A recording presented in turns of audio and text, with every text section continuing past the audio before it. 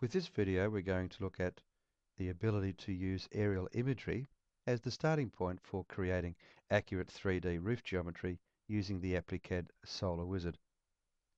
The starting point for any digitizing is the aerial image. The aerial image can be captured from various sources um, such as uh, Google, uh, Nearmaps, uh, Bing, um, anywhere where uh, pictometry, anywhere where you get a good quality image. Now you capture the image using various screen capture tools. There's one in Google. There's also a thing called Snipping Tool in Microsoft Windows 7. So you capture the tool uh, to your uh, clipboard, uh, paste it into Microsoft Paint, um, clip it to a, a, good size, and then save it to the AppliCAD working directory. And that's typically the AppliCAD user directory. So once saved, the image is available to be used. And the result would be a 3D model, and in this case with solar radiation calculated. Let's start with a new screen. We go to Construct Roof, Digitize Outline, and then enable the unscaled image. At this stage, the image is totally unscaled, but we did take some dimensions while we were in our um, aerial image tools such as Google where we, uh, we measured the gross length and gross width. We placed those measurements into the box and then digitize the uh, origin of the job, the width of the job, and the height of the job, and the image will be rescaled to be full size on the screen and rotated to be normal to the screen. This makes it simpler to digitize. Now we're going to digitize the outline based on the um, default constrained values for angle and length. Uh, you can change those to suit your needs. And then we start digitizing around the perimeter. And in this case, plus or minus 45 degrees and to plus or minus 100 millimeters. So it's um, use the cursor to guide you. And then when we get to the uh, penultimate corner, we right click and use close square to automatically close out the perimeter. We get the option to rescale should that be necessary, but normally it's not.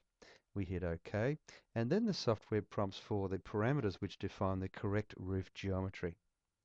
Now the most important feature of this is the roof pitch, and we cannot figure that from the picture we see now, so we have to go to an elevation image, and in this case we go to Google Street View.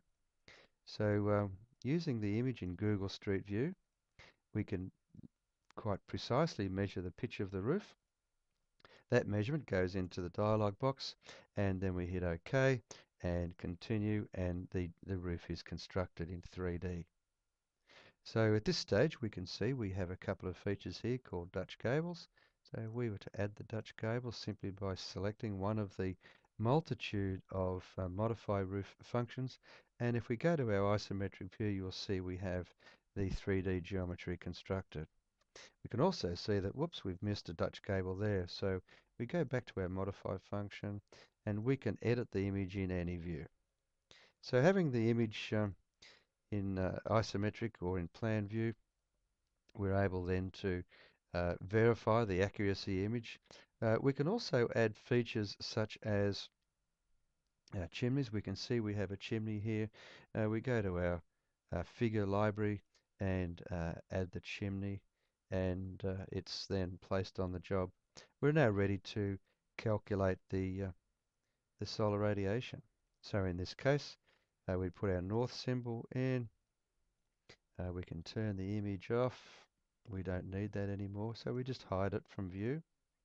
And then we calculate our solar radiation. So in the case of a uh, radiation type job for a solar, calculation, that is the process and how easy and quick was that.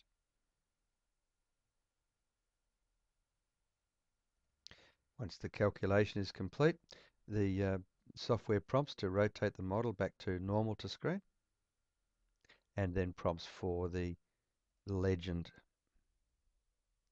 So there we have it. A quick and easy way, saving gas, saving time, and saving exposing ourselves to the dangers of falling off a roof. That completes this uh, little instructional video. We hope you enjoyed it and thank you.